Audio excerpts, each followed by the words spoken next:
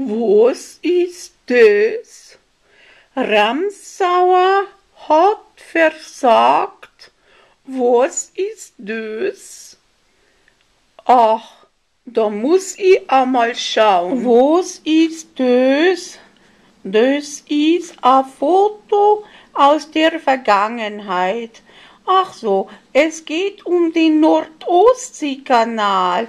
Aha, und der Ramsauer hat den stillgelegt, das ist ja was. Und er hat auch noch einen Sprecher. Da muss ich mal schauen, wie der Horst, der Horst Enak Ferkelmann. Na, na, na, Entschuldigung, Enak Ferlemann. Und der hat gesagt, diese Schweinerei von Stilllegung dauert, soll noch sieben Jahre dauern.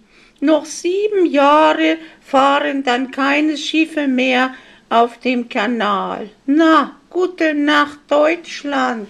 Dazu muss ich jetzt was sagen zu dem Herrn Ramsauer, gell? Sieben Jahre, so sein Sekretär, der Herr Enak, Enoch, wie spricht man das aus? Enoch Ferkelmeier, Verferlemann.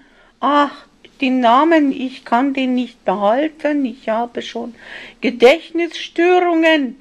Also, der will jetzt verursachen, dass der Kanal über sieben Jahre Schwierigkeiten hat, dass da ein größeres Schiff fahren soll. Das muss man sich ja mal in den Kopf hereinholen, diesen irr, irrigen Gedanken, nicht wahr?